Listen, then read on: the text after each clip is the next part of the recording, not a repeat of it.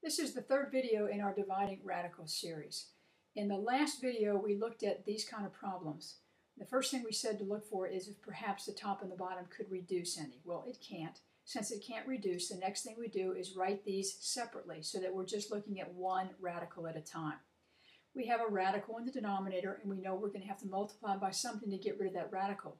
Since it's the fifth root, we're going to have to multiply by the fifth root of something, but we've got to choose the correct something. If we're going to be able to simplify the fifth root of something, it needs to be five identical factors. Take a look at this 3. That's 3 to the first. I only have one 3. For me to be able to bring a 3 out, I need to have five threes. I only have one. That means I need to supply four more. So this needs to be 3 to the fourth. I also have an x squared in the denominator. I need to have a total of 5 x's. I only have 2 to begin with, so I need to supply three more. So what you're going to multiply by top and bottom is the fifth root of 3 to the fourth x cubed. Of course, you multiply top and bottom by the same value because that really means you're multiplying by 1. To multiply this, it's a matter of just looking at the fifth root of something times the fifth root of something is just the fifth root of their product. The bottom, we're going to be able to bring something out of the radical sign because we supplied enough factors. So here's what happens. It stays the fifth root of 2 times 3 to the fourth, and then times x cubed. We'll clean that up in a second. The bottom, 3x squared times 3 to the fourth, x cubed. We still need to clean that up a bit. I've rewritten the bottom so that these like terms are next to each other. 3 to the first times 3 to the fourth, and the x's, x squared times x cubed. All I did on the top was take care of this 3 to the fourth, which is 81.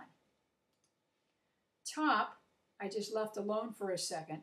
But on the bottom, this 3 to the first times 3 to the fourth, using your exponent law, is 3 to the fifth.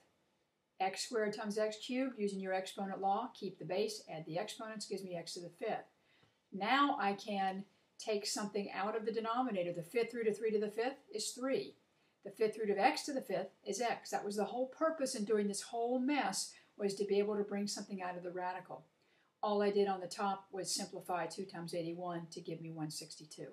You may look at this thinking, boy, 162 is a big number, and I bet I could factor tree it out and be able to simplify it. It won't. There are some factors, but to be able to simplify this, I would need five identical factors, and there are not five identical factors in 162. Same thing, see if you can perhaps reduce this, which you cannot. So that says, all right, let's separate them out. I wrote this as 2 times x cubed just to remind you that it's two different things down here in the denominator that we're going to have to deal with. We're going to have to multiply by the fourth root of something, and what that something is, is 2 cubed times x. Now where that comes from is this. This is 2 to the first. To be able to simplify the fourth root of something, I need four identical factors.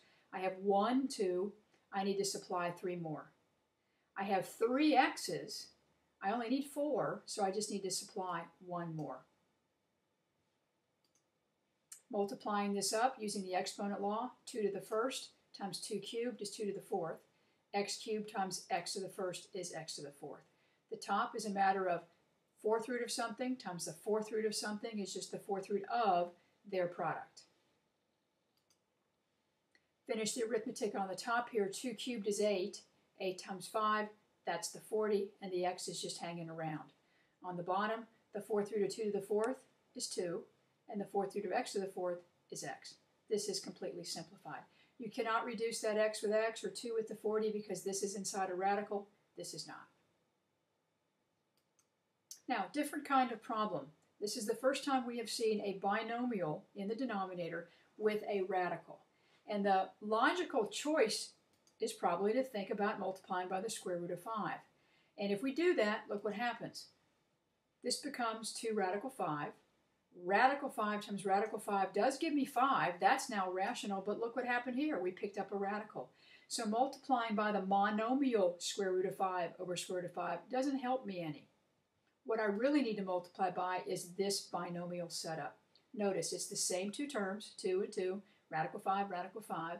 In this it was plus, so the thing I multiply by is minus. These two things are called conjugates, and the reason we choose this is that this is a special product. If I put these in parentheses, and think about multiplying binomial times binomial, I have to think about FOIL. So 2 times 2 gives me 4. 2 times negative radical 5 is negative 2 radical 5. 2 times radical 5 here is a positive 2 radical 5.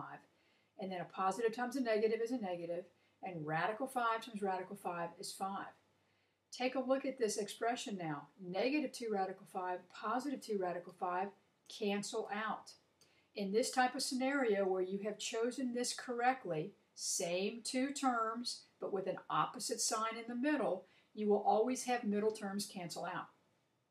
So what this looks like a little more simply is just 4 minus 5, because all you really have to do is 2 times 2. Front times front is 4, minus back times back. Radical 5 times radical 5 is 5.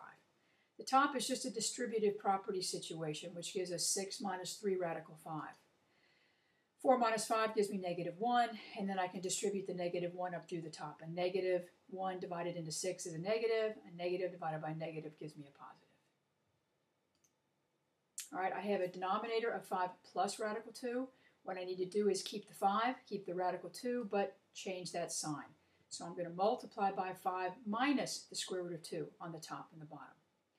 The top is just distributive property. 4 times 5 is 20. 4 times radical 2 is 4 times radical 2. The bottom, we've agreed we don't have to do the full-blown FOIL. All we have to do is front times front, which is 25, minus, because that's a positive times a negative, Radical 2 times radical 2 is a plain old ordinary 2. Let me remind you why that is. Radical 2 times radical 2 is the same thing as the square root of 2 squared, because the exponent law would say keep the base, add the exponents. Square root and square cancel out, just leaving the number behind. Do simple arithmetic in the denominator, and you're finished. A little more complicated when you have a coefficient, but it's still the same process.